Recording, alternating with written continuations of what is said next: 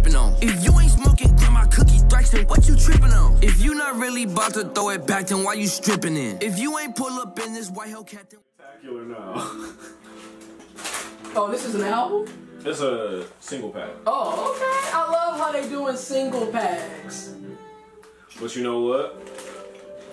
I'm gonna say that uh, Wale is the reason people are doing it. Yeah. Because he's been like dropping little EPs that might as well be single packs, like three, three, four songs. Yeah.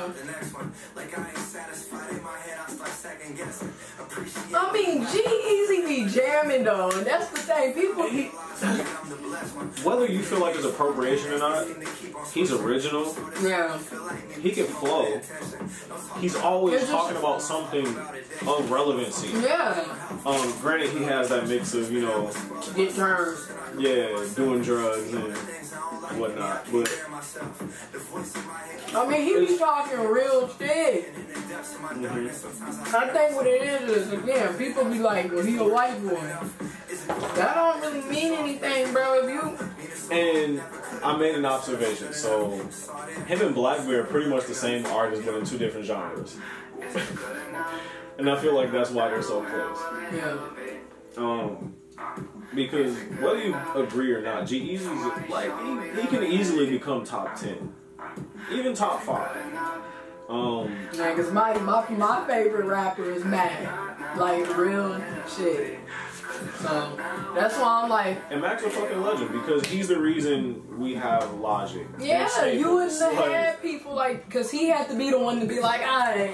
And what made him so deep to me was this is 2008, 2009. Logic was already, I mean, Logic. Mac Miller was already sampling shit from the 90s in New York, you know, Big L, all of that. So he was already way ahead of his time.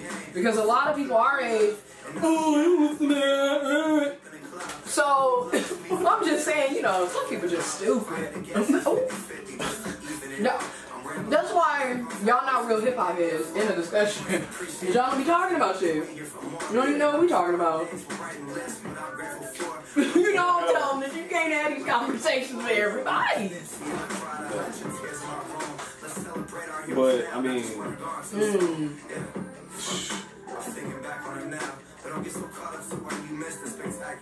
and him saying that line, him being close to Nipsey Hussle Yeah. and being close to Mac, it's like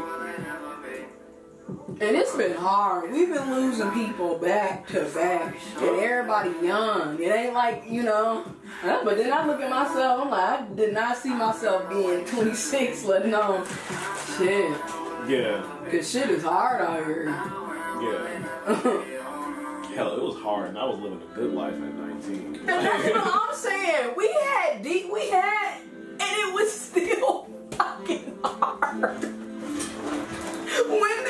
people ever get a break? and, and, Hard. it's, and this one got worse. Shit, it was better then.